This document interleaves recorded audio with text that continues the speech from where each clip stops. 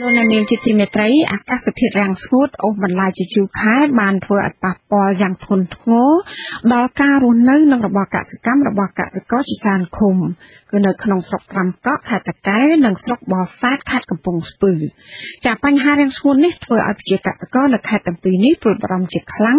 ពីការខ្វះខាតស្បៀងអាហារនាពេលខាងមុខ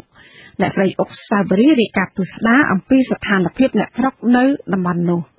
អ្នកស្រុករស់នៅក្នុងឃុំតាភៀមស្រុកត្រាំកោខេត្តតាកែវត្អូញថាពីមួយឆ្នាំទៅមួយឆ្នាំតំបន់របស់គាត់រស់នៅកាន់តែខ្វះទឹកសម្រាប់ប្រើប្រាស់និងទឹកធ្វើស្រែ លោកស្រីនាងចន្ទថារស់នៅភូមិត្បែងតតឹងឃុំតាភេមស្រុកត្រាំកក់ខេត្តតាកែវត្អូញបន្តថាក្នុង2ថ្ងៃគាត់ទិញទឹកតម្លៃ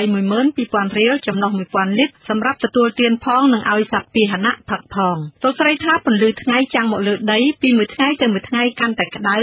ធ្វើឲ្យទឹកមានតិចតួចនៅក្នុងស្រះនិងអណ្ដូងទឹកប្រែជាស្ងួតលឿនហើយរីងខាលោកស្រីថាទឹករីងប្រែពណ៌ក្រហមដូចពណ៌ស្នឹមឬហៅថាច្រេះមិនអាចប្រើបានទើបអ្នកស្រុកនាំគ្នាទិញទឹកដែលគេដឹកមកពីតំបន់ឆ្ងាយដឹកតាមរថយន្តកែច្នៃហៅថាគោយន្តមកលក់ដល់ភូមិលោកស្រីថារាល់ឆ្នាំឲ្យតែខែសីហានេះទឹកមិនខ្វះប្រើទេប៉ុន្តែឆ្នាំនេះខែសីហាបែរជាគាត់ទិញទឹកសម្រាប់ប្រើប្រាស់ទាំងមនុស្សនិងសត្វទៅវិញ ភូមិខ្ញុំទិញទឹកចាស់ខ្ញុំមួយថ្ងៃអស់ទឹកអត់ដល់មួយទេទេមួយទេនឹង1000លីត្រវាសពគ្រប់ទឹកគោទឹកជ្រូកទឹកមនុស្សប្រើអីវាអស់ជាងពាក់កដាល1000លីត្រហ្នឹងព្រោះឲ្យអង្គការឲ្យដូងប្រមាណកន្លែងដែរសំបុកដូចថាវាអត់ចំកន្លែងចេញមិនអត់ទឹកហ្មងហើយឡូវរាំងស្ងួតទៅស្នាបអីសាបហើយងាប់អស់តែក្តៅ2ថ្ងៃទៀតប្រហែលជាផុតទៅស្នាបនឹងលែងអាចកែបានចាទឹមឆ្នាំហ្នឹងទេឬយ៉ាងម៉េចបង ឆ្នាំតមិញរាំងដែរហ្នឹងប៉ុន្តែរាំងហើយវាដូចវាចុងឆ្នាំណាមកវាមានបានឃ្លៀងខ្លះអីបាន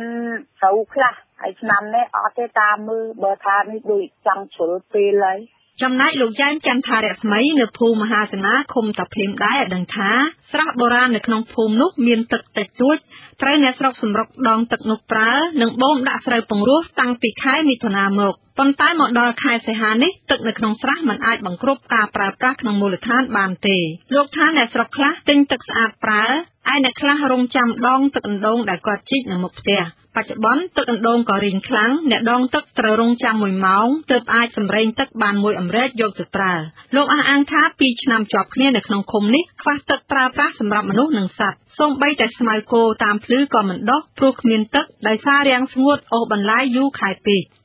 ដូចគ្នាដែរកសិករនៅឃុំតាំងក្រូចស្រុកសំរោងទងខេត្តកំពង់ស្ពឺលោកសុនសឿនអះអាងថាឃុំនោះខ្វះទឹកប្រើប្រាស់ចាប់ពីខែច្រោតក្នុងឆ្នាំ2014មកម្លេះអ្នកភូមិបានទិញទឹកស្អាតផឹកជិត1ឆ្នាំហើយ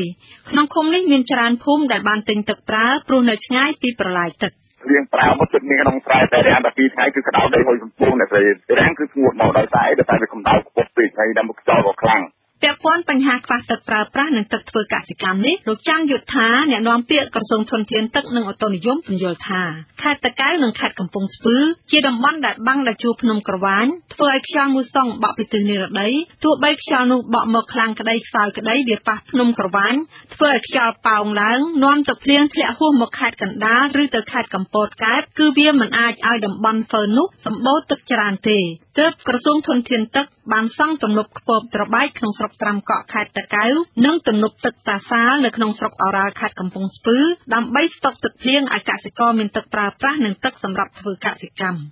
ហ្វឺនមានន័យថាតំបន់ដែលមូសុងនិរដីបកចំពីនិរដីមកចំគឺវាប៉ះនឹងជួរភ្នំកវាញហើយធ្វើឲ្យខ្យល់ប៉ោងឡើងបាទហើយក្រោមធ្លាក់វិញវាធ្លាក់រំលងតំបន់ហ្នឹងហើយកន្លែងនេះគេហៅថាតំបន់ហ្វឺនលុះត្រាតែមូសុងនេះគឺងាកមករៀង ប្រឆិតមករៀងទិសមករកទីខាងកើតបន្តិចទៅបានតំបន់នេះទទួល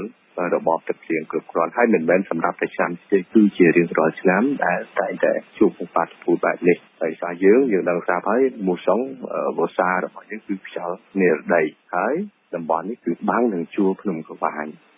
លោកចាំងយុទ្ធាឲ្យដឹងទៀតថាកសិករអាចមានទឹកធ្វើស្រែគ្រប់គ្រាន់នៅតំបន់ហ្វឺនោះចាប់តាំងពីចុងខែសីហានេះទៅលោកថាកង្វះទឹកបច្ចុប្បន្នមិនទាន់ប៉ះពាល់ធ្ងន់ធ្ងរដល់ការបង្កបង្កើនផលទូទាំងប្រទេសកម្ពុជាទេព្រោះក្នុងចំណោមដីកសិកម្មជាង2លាន4សែនហិកតា បានដាំដុះ70ទៅ80%ហើយ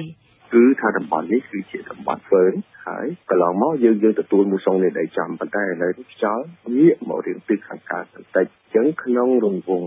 អាចពីចិត្តចុងខែ8នេះគឺតំបន់នោះអាចនឹងទទួលរបបទឹកភ្លៀងដូចជាតំបន់ដទៃទៀតហើយពេលដែលមានភ្លៀងនៅតំបន់នោះអាងទឹកខ្ពស់តបៃរបស់យើងក៏មានទឹកសម្រាប់ជួយត្រៀមអន្តរាគមនៅពេលដែលមានបញ្ហាខ្លះៗ ទោះជាមានការបញ្យល់ពីមន្ត្រីធនធានទឹកយ៉ាងនេះក្តី កសិករនៅក្នុងស្រុកត្រាំកក់ឲ្យដឹងថា ស្រូវពង្រោះដែលគាត់ព្រោះគ្រាប់ពូជជាលើកទី2នៅតែក្រៀមងាប់ហាក់ដូចជាស្រទាប់ទឹកនៅក្រោមដីស្រកចុះជ្រៅជាងសពមួយដងទំនងមកពីការជីករ៉ែជ្រៅជ្រៅតាមខេត្តដែលនៅជាប់ខេត្តតាកែវនោះធ្វើឲ្យទឹកក្រោមដីហូរទៅកន្លែងជ្រៅពាក់ព័ន្ធនឹងចម្ងល់នេះអ្នកនាំពាក្យក្រសួងធនធានទឹកនិងអូតូនិយមលោកចាំងយុថាឲ្យដឹងថាឆ្នាំនេះទឹកភ្លៀងធ្លាក់ប្រហាក់ប្រហែលនឹងឆ្នាំកន្លងទៅនាងខ្ញុំអុកសាវបរីវັດឈុអាស៊ីសេរីភ្នំពេញ